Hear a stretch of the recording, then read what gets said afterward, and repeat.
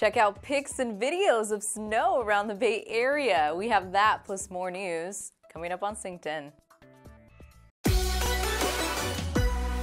Let it snow. Hey everyone, it's been snowing in some parts of the Bay Area and around our region, and you all have sent us a ton of pics and videos. Here are some.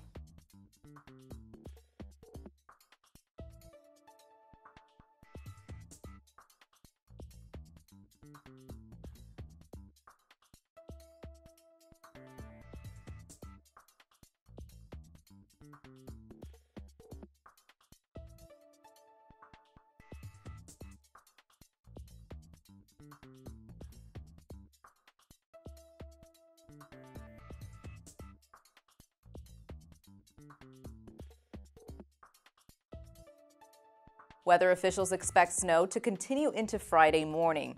Now, if you have some cool images you'd like to share, we'd love to see. Tag us on social media at NBC Bay Area, and they might show up on air or online. All right, in other local news, Berkeley Mayor Jesse Arreguín announced Wednesday he's running for a seat in the California State Senate.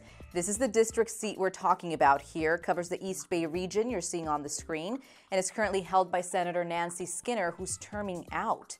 Arreguín, by the way, is Berkeley's youngest and first Hispanic mayor. He's held that seat since 2016.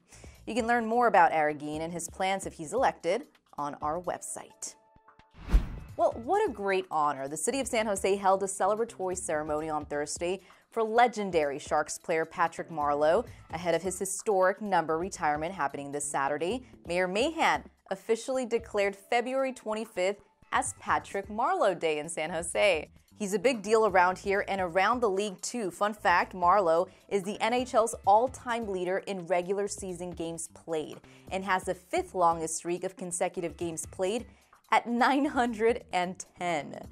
He, by the way, is also the first Sharks player to ever have his number retired. Good for him, he deserves it. All right, everyone, that's all I've got for you today. Thanks for watching. Bye.